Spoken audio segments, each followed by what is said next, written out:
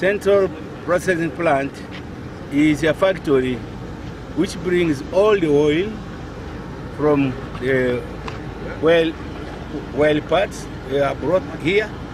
When they reach here, the oil which comes is dirty. There is water mixed up with sand and other impurities.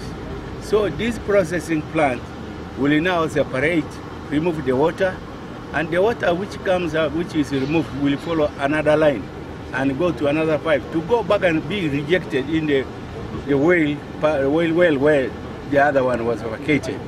And that process goes circling.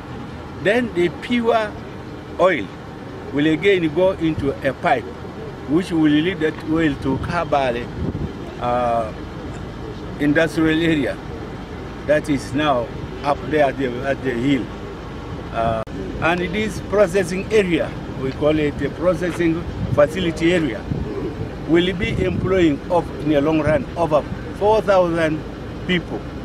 And we are busy training people who are going to carry out these activities. All the activities which are not too technical will all be taken by Ugandans. At the moment, the Ugandans who are working here, in fact, are account for 75%. Then what is good is uh, the best oil practices are being done here. Most of the infrastructure is concentrated here. The other infrastructure that is not here are the drilling pads, which are on the different oil fields. And uh, you have the well pads where the drilling will happen. You have the industrial area where the oil is going to be processed and where it will be setting off from.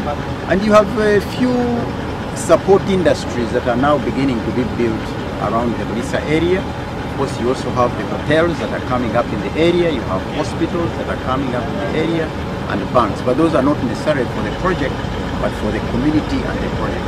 But for the infrastructure, it was largely concentrated in the industrial area, and that was by design.